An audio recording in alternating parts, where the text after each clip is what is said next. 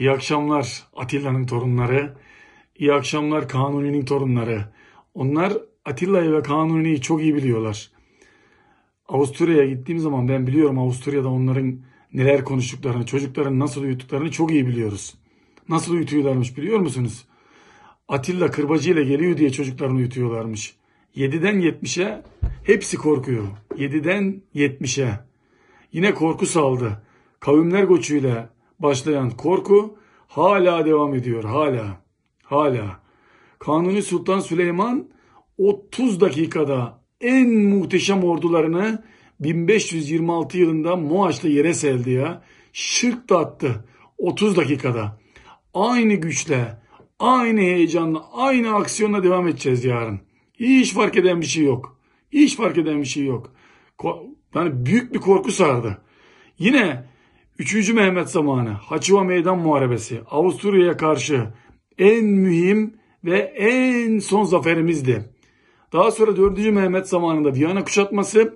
Viyana kuşatmasında hepsi birlikte oluyor. Hepsi birleşiyor Viyana'da. Böyle elimizden zor kurtarıyorlar. Yine başladılar biliyor musunuz? Bütün Alman televizyonları, Avusturya televizyonları kısıtlama getiriyorlar yine. Niye? İzlettirmemek için. Bizim birbirimizden güç almamızı engellemek için 7 düvel yine birleştiler. Ama söker mi? Yine sökmez bence. Yarın Viyana'yı fethedeceğiz. Feth. Yarın 3. Viyana kuşatması var.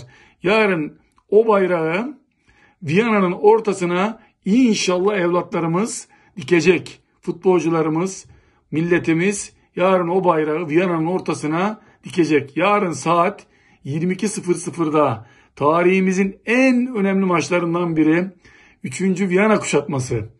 İnşallah Viyana'yı kuşatacağız yarın. İnşallah milletimizi bütün ülkemizin meydanlarına bekliyoruz. Biz milletimizin gücünün üstünde bir güç daha yok. Ben hiç görmedim daha milletin gücünün üstünde bir güç. Ve yarın tam birlik bütün Burdur, bütün Bucak, bütün ilçeleri, Burdur'un bütün ilçelerinde meydanlarda milli takımımızı böyle cani gönülden işten destekliyoruz yarın. Selam olsun Türk milletine.